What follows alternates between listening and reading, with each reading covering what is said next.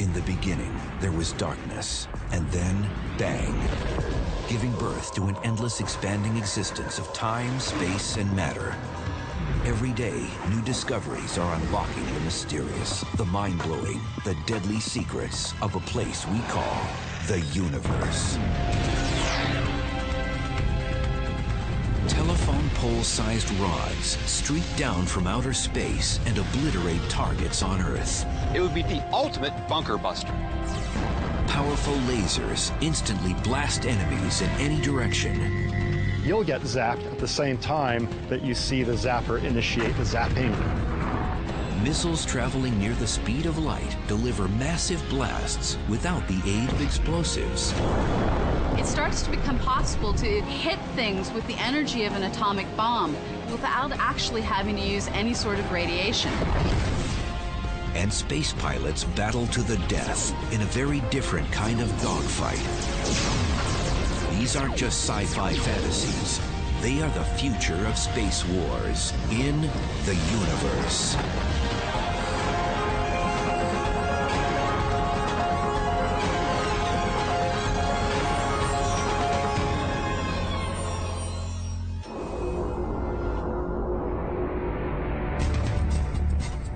It's 100 years in the future, and the final frontier has turned into the ultimate battleground.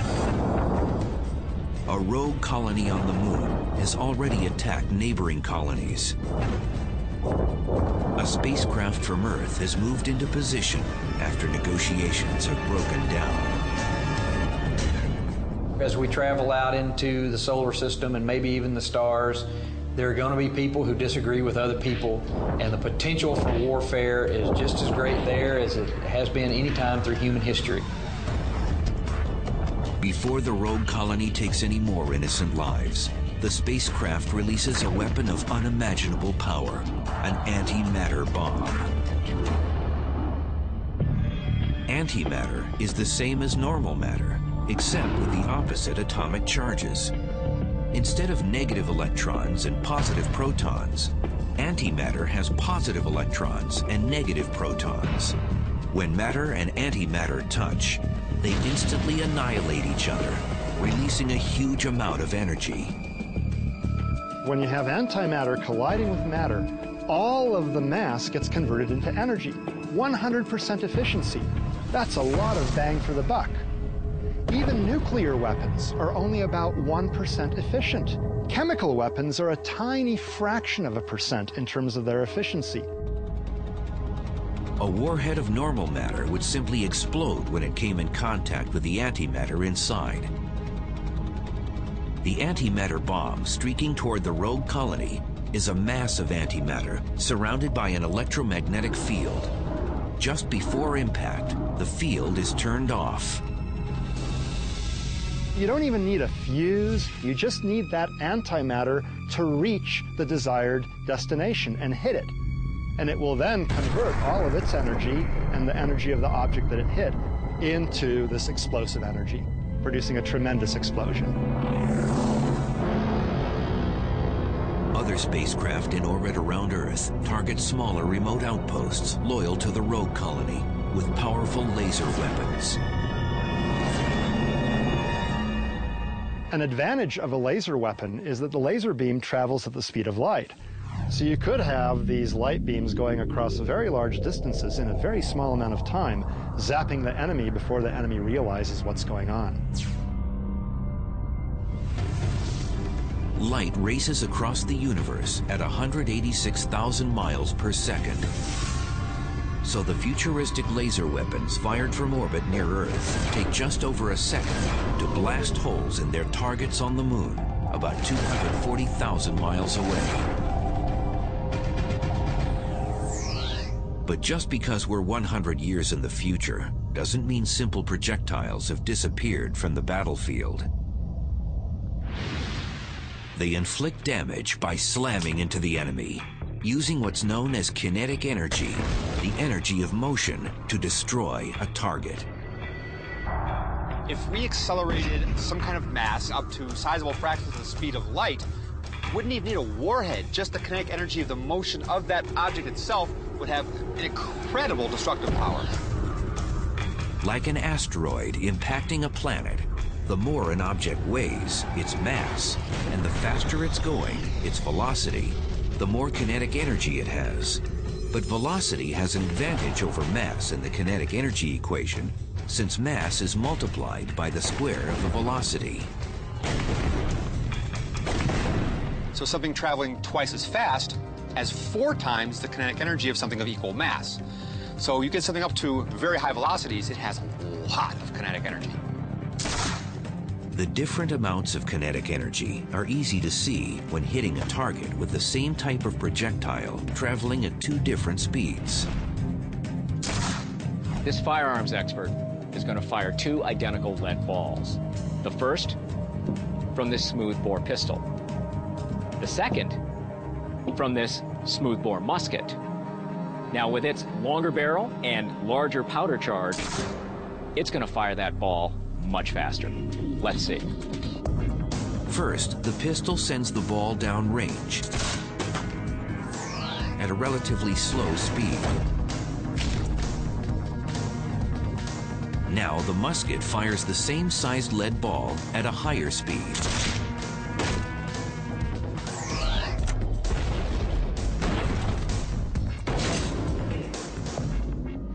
On the back of the target, you can see the damage caused by the lead ball fired from the pistol. But now look at what happened with the lead ball from the musket. Much higher kinetic energy, much greater damage. And out in the vacuum of space, there's no atmosphere to slow things down. So another ship in Earth orbit launches a telephone pole-sized projectile made of dense metal at the rogue colonists' underground headquarters. It's known as a rod from God. After a brief rocket boost, the acceleration of gravity gets the non-explosive rod moving at more than 10,000 miles an hour by the time of impact. As we're able to get heavier and heavier objects moving at faster and faster velocities, it starts to become possible to hit things with the energy of an atomic bomb without actually having to use any sort of radiation. Heavy metal rod penetrates layers of moon rock to destroy the underground command center. Without explosives, kinetic energy alone has devastated the area. Like an asteroid, creating a huge crater. But no matter how advanced space weapons become, one of the basic principles of warfare and technology will probably still apply.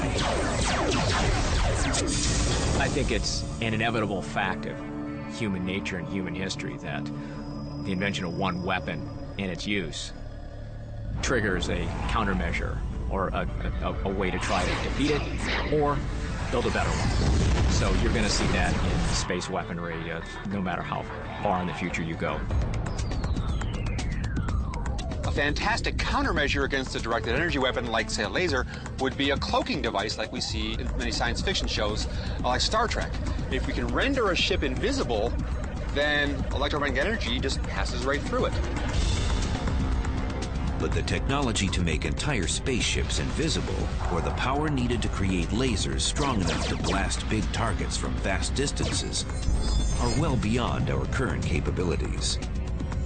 And right now, there aren't any offensive weapons stationed in space. But war could still come to space within the next decade or so.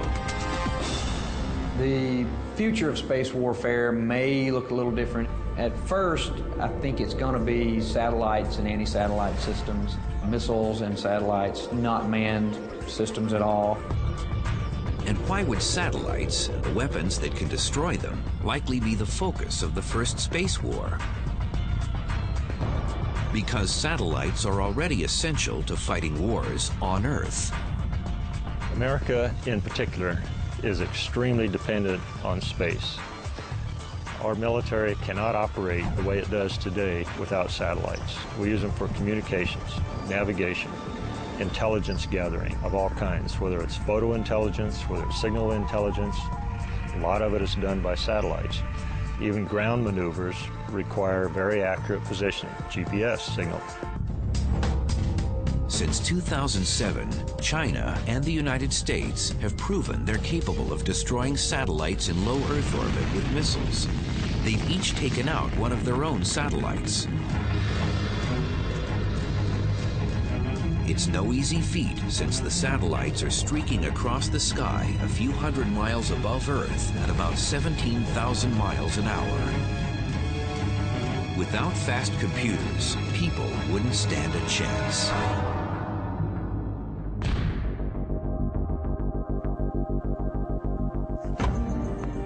Hitting a satellite in space with a missile is as difficult as hitting someone else's tennis serve with yours getting the timing, getting the speed right, it's virtually impossible. But for a modern missile with advanced technology, it's not that difficult. These missiles have sensors that allow them to determine their own location and the target location and changes and make split-second adjustments and hit them. Imagine if you had a smart tennis ball using the same kind of sensor technology, adjusting its location hundreds of times a second to make sure it hit the target. And once a missile intercepts a satellite, a big explosion isn't needed. In fact, many anti-satellite missiles are designed to simply ram their target without any explosives at all. Space-based materials are designed to be fairly light. It's very expensive to lift things into orbit. It takes about 100 pounds of fuel to lift one pound into orbit, so you want to make things light as possible which makes them also usually comparatively easy to knock out. And back on Earth, the effects of an all-out space war in the next decade would be severe. If countries begin blasting each other's satellites out of the sky, the problems would quickly spread beyond making it difficult for the military to wage war. Today's global society is definitely dependent on space. If we were to start losing satellites, not just military satellites, but commercial and civil satellites, what would happen to daily life? Suddenly, ATM machines don't work. Many cell phones don't work. Pay at the pump no longer works. Financial transactions all over the world that use the GPS timing signal all of a sudden are disrupted. So the whole world slows down. And if a space war escalated totally out of control, missiles might carry nuclear warheads into space to make sure important targets were knocked out with a big blast. But you won't believe how different a nuclear blast in space looks and how destructive it can still be back on Earth.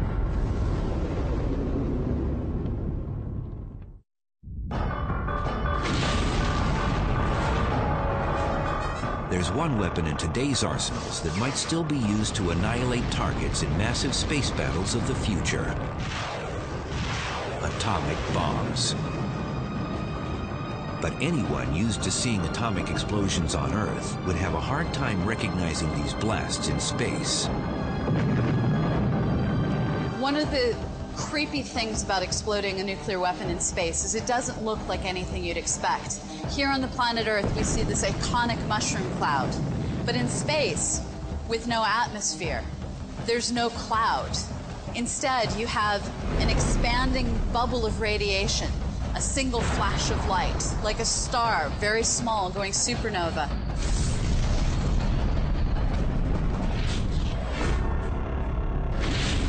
First few nanoseconds, high-energy gamma rays explode in all directions, along with a flash of light, followed by an expanding cloud of radiation. The shockwave that rips buildings apart on Earth is gone, since there's no atmosphere in space. But the sphere of radiation expands faster and farther than on Earth. You can just think of almost like bullets, but they're radiation particles going out and they will travel a long ways. Gamma rays, neutrons. They will penetrate satellites. Some go blasting right through. Others hit electronics and cause a lot of damage. With an average-sized nuclear bomb, any satellites within a 50-mile radius will be destroyed. But an atomic blast in space wouldn't just destroy equipment. Astronauts flying through the debris from an exploded nuclear weapon in space would be subject to extreme levels of radiation. In particular, there are gamma rays coming from radioactive decay of radioactive nuclei, and they can interact with skin and cause, cause cancer. Also, there are energetic electrons and other particles coming from these radioactive nuclei, and all of these things are damaging to living tissue.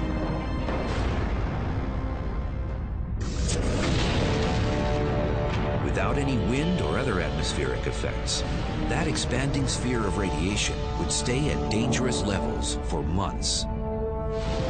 Today's missiles can carry nuclear warheads into space, and due to the way atomic bombs interact with Earth's upper atmosphere, one country might decide to target another with a blast in space because it actually causes a lot of damage all the way down on Earth.